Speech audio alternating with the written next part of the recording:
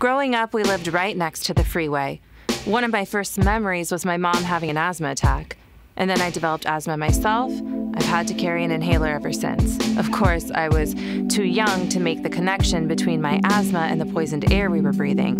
I was too young to make the connection that the system of inequality in our country was putting the people in my community on the front lines of the climate emergency. So today, when I see Donald Trump rolling back the environmental laws meant to keep us safe, I am just filled with sadness and fear. I fear the pollution that's increasing each year will give my kids asthma as well. I fear that they'll never have the chance to witness the beauty of this earth, and I fear that I will be taken from them when they need me the most.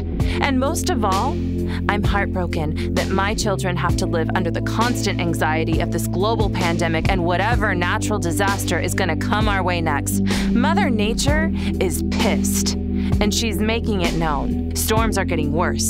Fires, floods, hurricanes, droughts. We need to change the whole system. We can't keep abusing our Mother Earth like this. Vice President Joe Biden's climate plan would be the most aggressive action any politician has taken yet to save our future, and we need bold action on climate now.